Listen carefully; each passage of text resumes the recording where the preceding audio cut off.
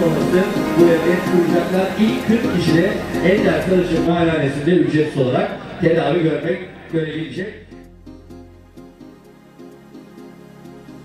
Yine nelere dikkat edeceğiz?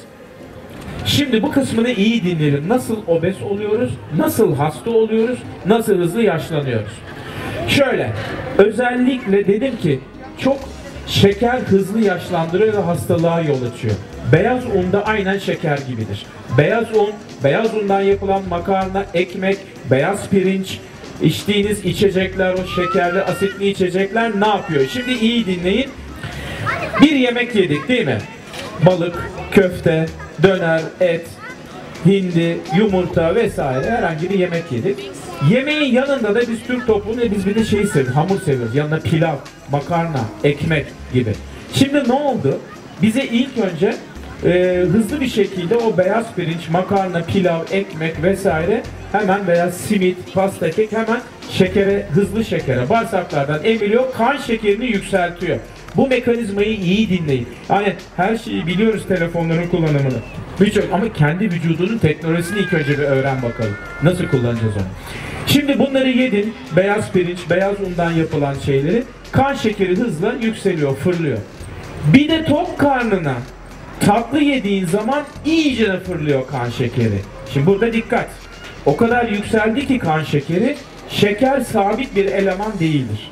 Ya yakacaksın şekeri, eğer yakamazsan yağ dönüşüyor şeker. Karaciğere gidiyor. Şeker müthiş bir teknoloji. Çünkü şeker sabit duramıyor. Yağ dönüşüyor. Yağ dönüşünce de nereye gidiyor? En tehlikeli yer göbek ve bel civarına. Beyaz yağ olarak gidiyor. Bütün ağır metaller, kanserojen toksinler, vücudun çöplüğü göbek ve bel civarındaki o beyaz yağlar oluyor. Şimdi şekeri yedin. Kan şekeri yükseldi. Şimdi insülin salgılatıyorsun çok. Çünkü pankreas şekeri düşürmek için aşırı miktarda insülin pompalıyor. Ve bu insülin de ne yapıyor biliyor musun? Şekeri alıp hücre içerisine sokup enerjide kullanıyor. Fakat o kadar çok pilav, makarna, asitli meşrubatlar, şeker çok şifalı bir e, maddesi de taze nanedir. Naneyi daha çok tüketin yazın. Terlemeyi önler, sinirleri önler, ferahlık verir ve de serinletici bir etki verir nane. Çok şifalıdır. Özellikle nane limon ikilisi vücut için yazın çok sağlıklıdır. Şimdi nasıl besleneceğiz onları konuştuk. Genelde evinize kızartmayı, beyaz unu, beyaz şekeri ve mısır şurubunu sokmamaya çalışın. Mısır şurubu nedir bir anlatayım. Ondan sonra karar verin tüketip tüketmemeyi. Mısır şurubu GDO'lu yani genetiği değiştirilmiş mısırın Mısır'dan elde edilen ve çok hızlı kana karışan çok tehlikeli bir şeker. Adeta tatlı bir zehir. Mısır şurubunu tüketmiyoruz zannediyorsunuz ama dışarıdan aldığınız hazır paket ürünleri ve hazır sanayi tipi tatlılar ve pastane ürünlerin çoğunda mısır şurubu var. Ve mısır şurubu o kadar tehlikeli ki Amerika'da obezitenin, kalp hastalıklarının ve şeker hastalığının ve hızlı yaşlanmanın ee, en önemli nedenlerinden biri mısır şurubu. Böyle sağlığımızı kaybettik, kof olduk, çürük olduk, hastalıklı olduk, alerjik olduk. Hemen depresif olduk, narin olduk. Ne oldu? Şimdi bunları anlatacağım size. Şimdi çok önemli bir gerçek var. Artık Türkiye'de insanların ortalama yaşam süresi kadınlarda 83,5 yaşına çıktı. Son istatistikler bunlar. Erkeklerde 78 yıla çıktı. Yani kadınlar bizi bir 5,5 yıl önden gönderiyorlar. Erkeklerde 78, kadınlarda 83,5. Neden? Kadınlar daha akıllı bize göre sağlıklı yaşam konusunda. Bir de genç yaşlarda adet gördükleri için bir temizlenme, doğal bir arınma oluyor. Şimdi bu inşallah siz o yaşlara geldiğinizde tahminen Erkeklerde 90, kadınlarda 100-105 yaşına kadar yaşama büyük ihtimalle bu şekilde giderse bir 30 sene sonra bu rakamlara çıkacak. Şişman, şişko, obez olmayacaksın. Çünkü o zaman diz eklemlerin gidiyor. Kalça eklemlerin gidiyor. En kıymetli damarlarımız koroner yani kalp damarları. Ne kadar kalınlığı biliyor musunuz kalp damarlarının, koroner damarları? Bir orta maydanozun sapı kadar kalbimizi besleyen en önemli koroner damarlar maydanozun sapı kadar şekerini düşürür. O yüzden Osmanlı zamanında sütlaçlarda, güllaçlarda, çoğu tatlıda hep üstüne tarçın serperlermiş ki o tarçın kan şekerini düşürsün, dengelesin diye.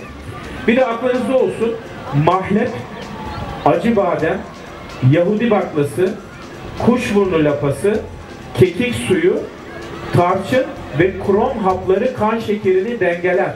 Hani biz çok tatlı hamur işi, börek, çörek, simit, pasta, kek, e, kurabiye yiyoruz ya. Bunları yediğiniz zaman bir bardak tarçınlı bir çay veya bir parça kekik suyu veya bir tane acı badem veya bir tane Yahudi baklası veya bir iki tatlı kaşığı kuşburnu lapası gibi e, mahlep özellikle Osmanlı'da bir hani kandil simitini çok severiz ya mis gibidir. Çünkü içinde mahlep vardır. Neden mahlep? Çünkü o unun kan şekerini yükseltmesini dengeler.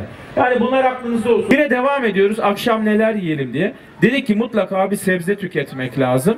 E, bu sebzeler de yaz sebzeleri olsun. Kış sebzelerini yazın tüketmiyoruz. Yaz sebzelerini semizotu, bamya, taze fasulye, kabak, patlıcan, bunları e, dolmalık biber, piyasadan aldığınız bir herhangi bir tatlı, gofret, çikolata, kek, hazır kek, hazır kurabiye vesaire bir bakıyorsunuz içinde korn şurup, mısır şurubu yazıyor.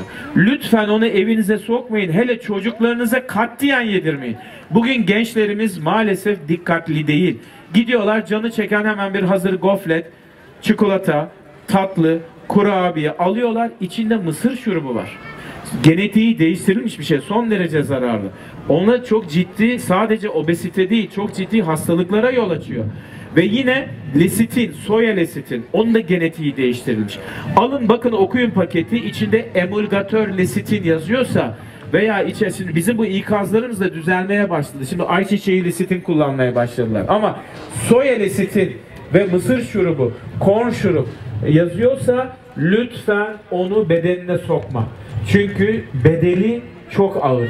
İçecekler, çok ağır. tatlı, kek, pasta, unlu mamul, kurabiye yedin ki kan şekerini o kadar yükselttin ve o kadar çok insülin salgılatıyorsun ki artık insüline direnç gelişiyor. İşte hep duyduğunuz televizyonlarda anlattığınız insülin direnci bu. Artık şeker yakılamıyor. Ne oluyor? Yağa dönüşüyor. Nereye gidiyor? Göbek ve bele. İşte sonun başlangıcı bu. İşte o yüzden göbek ve bel civarında yağlanmayacaksınız. Kadınsanız ters armut, erkekseniz de elma gibi olmayacaksınız. Çok önemli. Çünkü bütün hastalıklar bu zeminde gelişiyor. Şimdi o zaman ne yapacağız? Tok karnına tatlı yenmeyecek. Tok karnına şekerli meyve yenmeyecek. Bir de mısır şurubu, beyaz un, beyaz şeker içeren gıdaları mümkün olduğunca yemeyeceğiz. Arada ben de bazen bir simit yiyorum. Arada bazen ben de güzel mis gibi bir karpuz yiyorum. Arada bazen ben de Ramazan'da bir güllaç yiyorum. Ama ben onu yakıyorum. Bugün mesela hiç tatlı yemedim. Ama e, bir parça etli bir yemek yedik. Üzerine karpuz ikram ettiler. Yedim karpuzdan. Ama öncesinde öğlen yemeği yememiştim. Akşam yemeğini erken yedim ve bir saat sıkı spor yaptım. Benim onu yemeye hakkım doğdu. Gençler şeyi çok seviyorsunuz kafe latte'yi. Macchiato'ları kafe latte'yi. Bir orta boy kafe latte'de 270 kalori var. Yani bunu yakabilmek için bir saate yakın koşman lazım. Bir orta boy kafe latte'de 270 kalori var. Bir şişe kolada 150 kalori var. Üstelik de beyaz şekerse çok iyi şanslısın. Hiç olmazsa pancar şekeri. Ama mısır şurubuysa daha da kötü.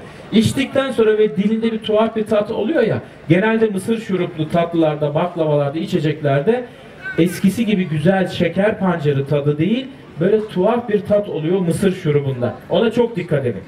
İçeceklerde bütün bu işte kafe latteler, kolalar, işte diğer şekerli, asitli meşrubatlar sonra yağa dönüşüyor. Bir de çok asit etkisinde olduğu için de bir takım hastalıkların önünü açıyor. Lütfen içtiklerinize dikkat edin. Bir tanesi hem ödem çözecek, şişkinliğinizi atacak. Hani diyorsunuz ki sabahleyin yüzüğün bol geliyor. Akşam saatlerinde yüzüğüm parmağımdan çıkmıyor. Veya adet öncesi dönemdeyim. Her tarafım davul gibi şişiyor. Genelde çok şiştiğiniz zaman başınız ağrır. Neden baş ağrır? Çünkü kafatası genişleyemez. Kafatası genişleyemediği için basınç olur. O da ödem ve hatalı beslendiği veya yanlış bir yediğin için olur. Şimdi bunlar ön işaretler. Hem ödemi çözsün hem de zayıflatsın. Güzel bir çay tarifi vereceğim size. Bir, avokado yaprağı. bir veya iki tane avokado yaprağı. 2. iri bir tutam mısır püskülü. 3. iri bir tutam kiraz sapı veya vişne sapı. 4. Yarım tatlı kaşığı yeşil çay. 5. 2-3 tane saplarıyla beraber maydanoz. Tekrar söylüyorum. Avokado yaprağı, maydanoz, mısır püskülü, kiraz sapı, yeşil çay. Bu hem zayıflatır hem de ödem çözer, şişkinliği atar. Günde 2-3 fincan içebilirsiniz ama böbrek yetmezliğiniz varsa, hamileyseniz önermem. Onun dışında bu çayı günde 2-3 fincan içebilirsiniz. Sağlıklı zayıflamaya yardımcı olur. Yine bu sıcaklar geçince az kaldı birkaç hafta sonra Eylül'de başlayabileceğiz bir sarımsak çayı tarifi vereceğim. Binlerce kişiden buradan teşekkür geri dönüşü aldık. Çünkü sarımsak çayı bir mucizedir. Bunu lütfen iyi dinleyin.